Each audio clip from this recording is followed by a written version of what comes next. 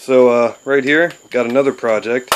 Not my project, but a friend of mine's. It's a uh, a 95 Jeep 4 liter straight 6. Um, we just finished um, part one of the breakdown of the motor. Um, he got this engine for free. It was hydrolocked, and uh, somebody also poured ATF in it, and you can see there's quite a lot of rust in here and everything. Uh, the head's pretty gnarly too. There's rust all in the valves.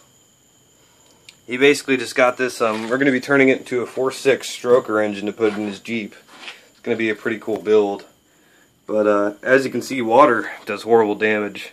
So this is the result of uh, hydrolocking an engine. See, just the water just attacks everywhere.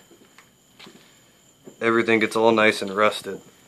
And we can't even, and the motor doesn't turn whatsoever.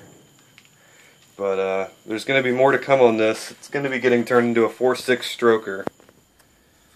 So uh, just another little preview there. So everyone keep your eyes peeled.